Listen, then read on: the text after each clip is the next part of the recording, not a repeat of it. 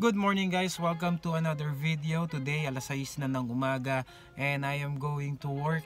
So nagpapagas lang kami ni Matt at pupunta kami dun sa aming trabaho. Today, specific topic at alam ko naman na aware na aware kayo ngayon dahil buong mundo na nagpapanik na no dahil sa coronavirus. So today, magtatrabaho muna ako pero gusto kong pumunta ng grocery. So the first time na pumunta ako ng grocery, nagkakaroon na ng mga panic buying and at the same time nagkakaubusan na ng mga paninda rito. So it may be tonight or Friday, mamimili ako sa Walmart. Tingnan natin kung ano yung mga nawalang mga paninda, no? Masyado na rin kaming nababahala dahil dito sa lugar namin, meron ng mga issue regarding sa mga coronavirus dito. So binalita kanina sa radio station dito. So yung Bari, kabilang barangay lang yon dito. Uh, merong isang 77 years old, binawian na ng buhay. Nakakabahala kasi yung virus na dala niya is chinecheck pa mga medical expert dito. Binabalita na rin sa radyo regarding sa pagla-lockdown dito sa part ng Muskoka kung saan ako nag uh, currently nagtatrabaho ngayon. Pagkatapos ng trabaho ko, ikikwento ko lang yung regarding dito sa specific topic na to which is very global yung ano na global awareness na yung nangyayari sa issue na to. Ayokong masyadong magpa magpa-apekto dito sa issue na ito but uh, yun nga it is all about safety issue at saka yung sa health awareness mo yung kailangan. Okay na ba? Okay, so nagpakarga na si Matt. Pupunta muna kami sa site, magtatrabaho and after that, uh, at the end of the day, ay uh, tutuloy ko yung vlog na ito. So, abangan nyo lang kami. Okay, mamayang konti. At uh, magtatrabaho muna, ka magtatrabaho muna kami. Okay? Vlog update lang mga ka-discobres. Today nandito ako sa job site. So, regarding dun sa coronavirus na sobrang grabe na yung pagkalat no So ngayon dito sa job site kanina pinaalalahanan kami ng aming manager baka itong darating na araw magla-lockdown na rin kami rito sa area namin dito sa Muskoka dahil masyadong delikado na daw at saka umiiwas na rin yung mismong mga tao at sumusunod sila sa anunsyo ng kanilang mga leader dito regarding dun sa issue ng coronavirus. So dito ngayon, dito sa site na to, kanina kinausap kami nung parang uh, foreman, tinanong kami kung meron ba kaming health issue. So yung kanilang mga kasamahang electrician dito kanina, may isang dumating na truck and then another one. Gusto nilang mag half day or hindi na pumasok sa trabaho dahil yung kasamahan nilang electrician dito, pinaghihinalaan nilang may sakit at baka may sintomas na siya ng uh, coronavirus. Kaya kanina habang kinakausap nila kami 3 meters away yung layo namin habang nag-uusap kami and at the same time yung mga gamit nila so imagine ito mga kadiscobres ultimo ladder at saka yung mga martilyo or mga pliers nila ayaw nilang pahawak sa amin dahil dun sa baka may ano nga no, may kumapit na virus sa isa't isa sa amin. So iniiwasan nila 'yon. Ultimo yung mag-usap. So ganyan po. Yan. Yan. So mamaya update ko na lang kayo dahil malamig dito sa labas. Yan, nanginginig ako.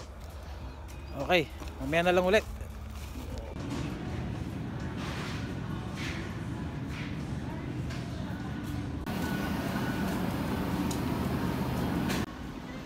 Hello mga kadiscobras, welcome to another vlog. Today nandito ako sa Walmart. Tapos bibili ako ng mga ano, pagkain at saka dila-delata So aware naman tayo sa nangyayari ngayon dahil sa COVID-19 At araw ng Huwebes ngayon So namili na kami. Kasi bukas magkakaubusan na talaga ng mga stocks So pagpasensya nyo na ako kung hindi ako masyado nakatingin sa camera kasi multitasking na tong ginagawa ko. Nagbablog and at the same time nam- namamalengke na.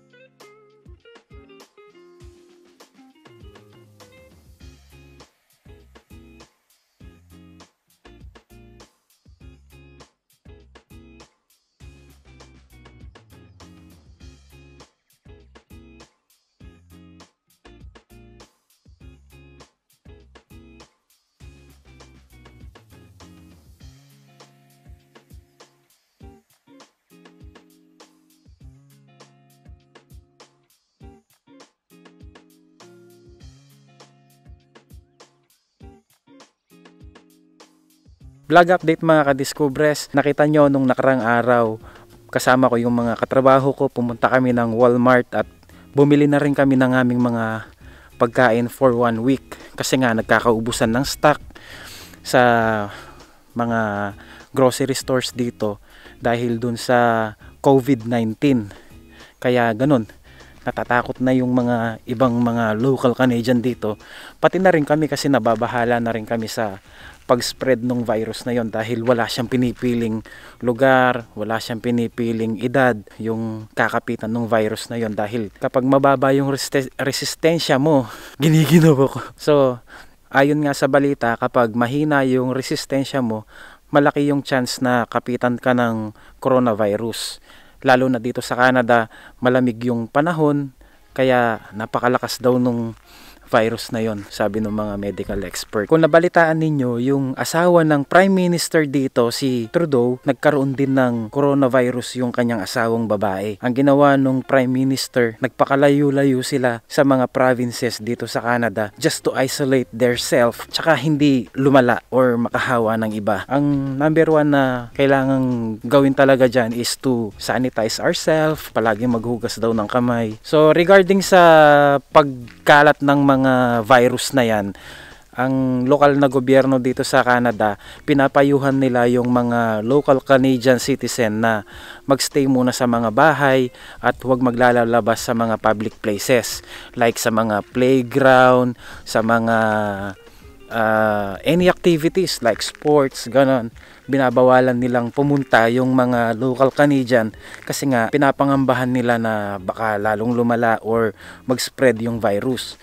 Kaya dito sa Muskoka, this is a province. Yung mga tao uh, na galing sa Toronto at may mga bahay dito, so nagsisipagbalikan sila. Kaya yun, kinakabahan kami.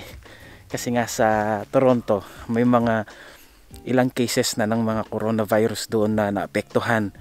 Kaya, yun, ingat-ingat kami ngayon dito. So, kapansin-pansin din yung mga fast food chain like yung Tim Hortons, McDonald's, KFC, yon lahat ng mga fast food dito hindi na uh, hindi muna pumupunta yung mga taong mga kumakain. Mostly ang ginagawa nila drive-thru na lang. Pero ganun pa man ang pinaka nakakaawa doon yung counter na nasa drive-thru window yung mga nag-aabot ng pagkain. Pero ganun pa man syempre kailangan mag-sanitize yung uh, gawin doon. So hindi lang dito sa Canada pati rin sa Pilipinas uh, number one kasi dito yung pagkikipag-cooperate sa local government and other local official ng mga distrito or barangay kung saan man tayo nakatira para lang maiwasan yung ano pagkalat ng ganitong klasing disease or virus. Sa inyo mga kadiskubrescom na OFW saan man kayo sa buong mundo na nagtatrabaho, make it sure na palagi kayong healthy maging health aware kayo sa sarili ninyo dahil kailangan na kailangan natin magtrabaho para sa ating pamilya. May mga taong umaasa sa atin uh, para suportahan yung pang-araw-araw nila sa Pilipinas.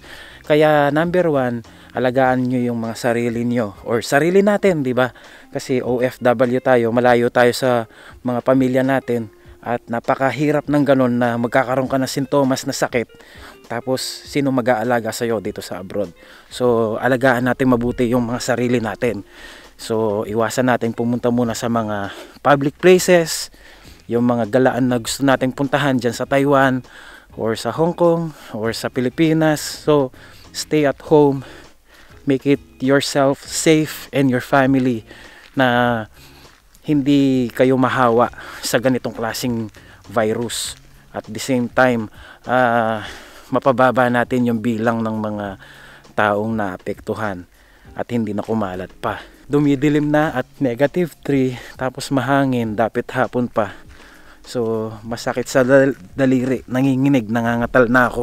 Pero summer is coming. Yung mga ibang video ko pa na nung time na lumipat ako dito, I make it sure na i-upload ko sa YouTube video ko. Even though it's late, marami kayong mga mapupulot na mga bagong idea at saka mga bagong adventure ko dito sa Muskoka. Malalaman ninyo kung ano yung dahilan kung bakit ako lumipat. Shoutout na rin sa'yo, Noah Noah.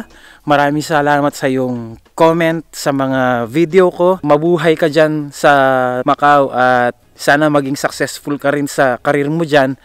And at the same time, make it yourself to be safe. Huwag kang magalala. Ginagawa ko na yung video para dun sa specific question mo. Dun sa comment mo, no? So, maraming salamat sa inyo mga kadiscubres and dahil sa inyo, uh, sa mga comment ninyo, nagiging uh, more creative ako, na-challenge akong mabuti. At uh, nai-inspire ako lalo sa inyo dahil uh, mas gusto kong gumawa ng maraming video na i-share sa inyo yung buhay ko rito. So, pagpasensyahan niyo na rin kasi uh, with regards to my job, uh, from Monday to Friday yung pasok ko. And uh, yung Sabado at Linggo. So, I make it precisely every Friday night nagagawa ko yung mga video na dapat kong i-share sa inyo. So, konting patience lang at I make it assure weekly na may upload ko yung mga video na gusto kong ipakita sa inyo or i-share. So, lagi nyong iisipin, make it yourself safe kahit uh, nasa Pilipinas kayo and tayong mga OFW na nasa malayong lugar at kung saan man kayong part ng mundo nagtatrabaho sana alagaan ninyo yung mabuti yung sarili ninyo at maging self health aware kayo dahil sa virus na ito so dito ko muna tatapusin ang video vlog na ito. Maraming salamat sa inyong panonood. Until next time from Northeast Southwest, my name is Gilbert with Legal Discoveries Channel. Mabuhay tayo mga OFW sa buong mundo. Bye bye! Yuhuu!